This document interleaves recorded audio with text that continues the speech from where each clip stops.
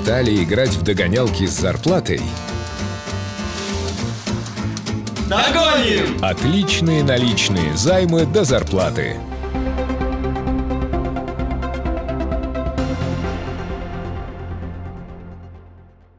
Скотократство – еще одна наша важнейшая тема. Так началось аппаратное совещание главы Тувы. В первую очередь были обсуждены решения проблемы, в частности, предпринять усиленные профилактические меры против этой проблемы.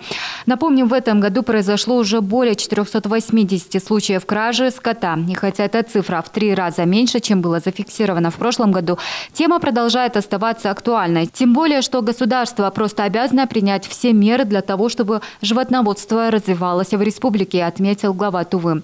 Между тем, Александр Щур, министр внутренних дел региона, сообщил, что в Туве все проблемы в этой области происходят из-за неорганизованного выпаса скота. Четыре месяца назад было специально инициировано ужесточение законодательства в этой сфере, но оно так и не работает.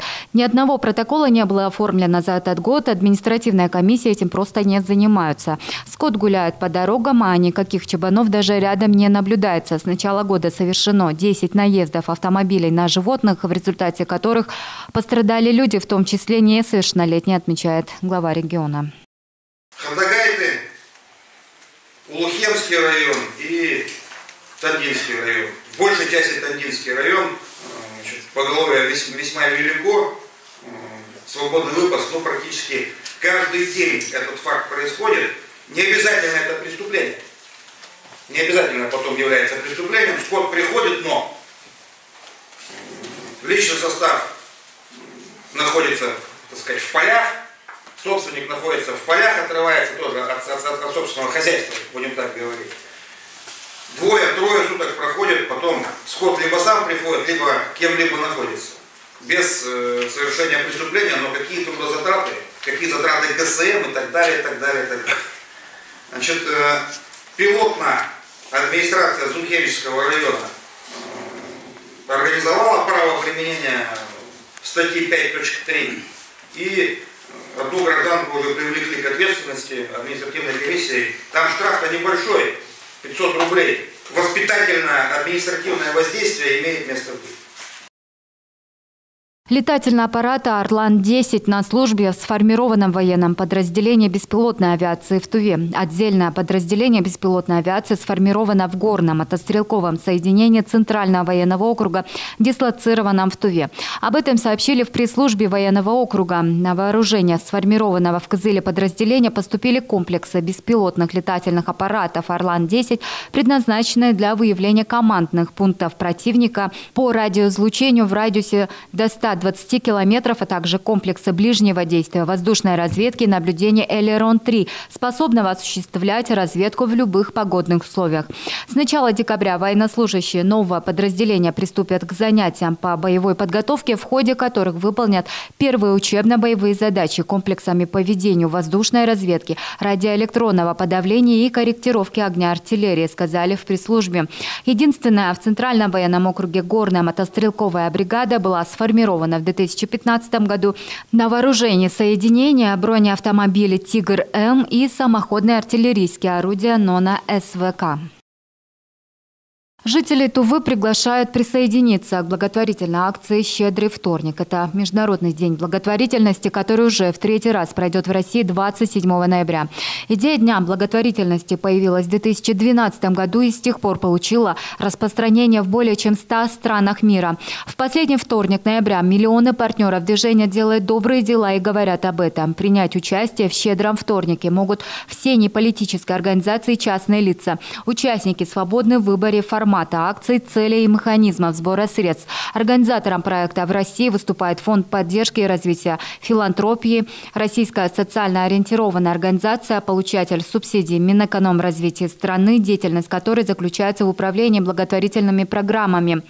Проект также осуществляется при поддержке Фонда президентских грантов. Для участия в «Щедром вторнике» необходимо зарегистрироваться на сайте щедрыйвторник.рф, разместить анонс своего мероприятия, рассказать о нем в социальных социальных сетях, принять участие во флешмобе. Неделя признания, рассказать свою историю в рамках проекта «Моя щедрая история», а также поделиться с организаторами кейсом вашей организации на официальном сайте, а также в социальных сетях с обязательным хэштегом «Щедрый вторник». Мероприятие в рамках инициативы планируется проводить в период с 20 ноября по 4 декабря 2018 года. Безопасность превыше всего. Именно этим руководствовались компании АО «Энерго», когда поменяли на одной из подстанций Кызыла старый забор сетку «Рабицу» на бетонное ограждение.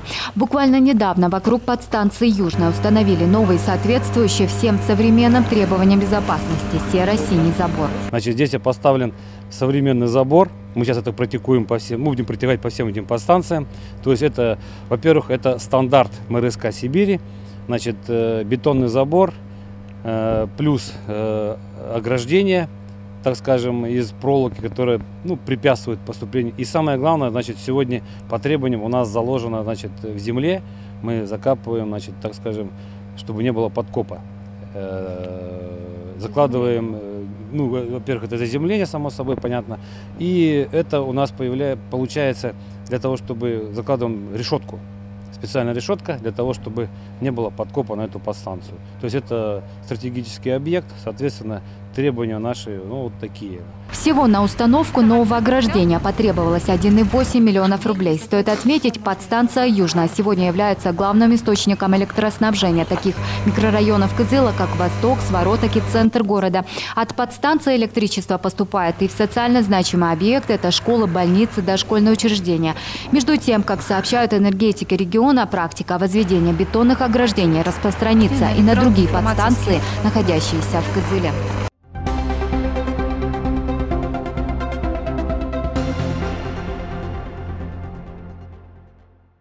1 октября 2019 года кредитная организация при принятии решения о выдаче кредита физическому лицу на сумму 10 тысяч рублей и более, а также при увеличении лимита кредитования по банковской карте будут рассчитывать показатель долговой нагрузки заемщика. Об этом сообщает издательство «Российская газета».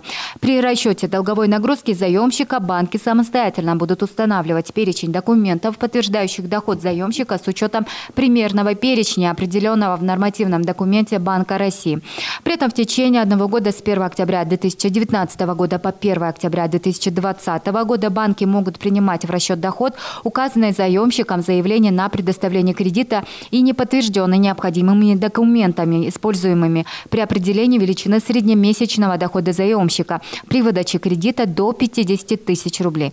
При расчете долговой нагрузки заемщика банки будут учитывать данные обо всех обязательствах заемщика, включая задолженность по всем кредитам и займам.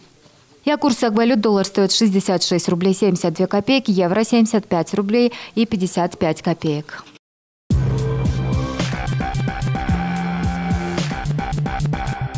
Впервые в Кызыле ярмарка верхней одежды «Ермак» с 23 ноября по 9 декабря. Шок цены на зимние куртки. Спешите, Аюн Курседи 96.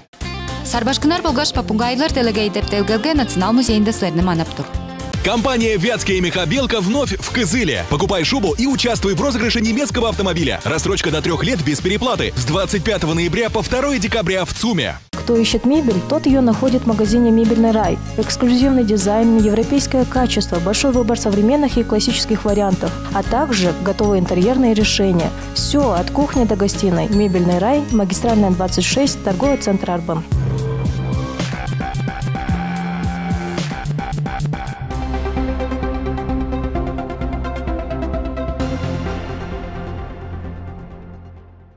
Потерявшегося мальчика в Тендынском районе нашли в шалаше на берегу реки Дурген в 500 метрах от села Межигей после суток поисков. Напомним, сообщение о пропаже несовершеннолетнего в селе Межигей Тендынского района поступило 24 ноября. Как рассказали заявители, утром 23 ноября семиклассник вышел из дома в неизвестном направлении домой не вернулся. С 24 по 25 ноября поисковые работы проводились силами родственников и сотрудниками полиции.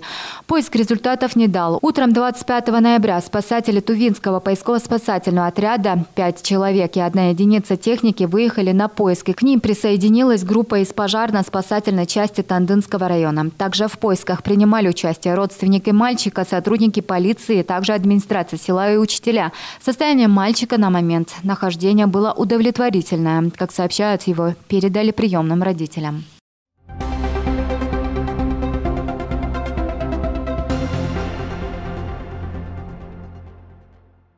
1 декабря в детской стоматологической поликлинике Кызыла дежурные врачи будут оказывать экстренную неотложную стоматологическую помощь детям по выходным и праздничным дням с 9 до 16 часов. Напомним, что в настоящее время оказание экстренной неотложной стоматологической помощи взрослым и детям осуществляется на базе Кызылской стоматологической поликлиники.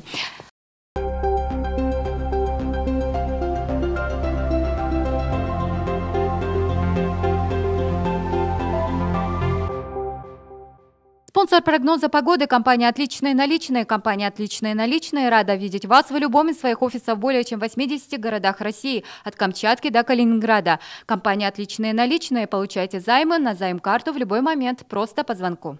Переплата по займам такая маленькая, совсем малышка. Отличные наличные, но очень маленькая переплата по займам. По республике ожидается переменная облачность, местами небольшой снег, ветер северо-западный 2,7 метров в секунду, местами порывы до 13. В Кызыле переменная облачность без осадка, ветер северо-западный 2,7 метров в секунду. Температура воздуха ночью минус 19, минус 21, днем 9-11 градусов ниже ноля. Переплата по займам такая маленькая, совсем малышка. Отличные наличные, но очень маленькая переплата по займам.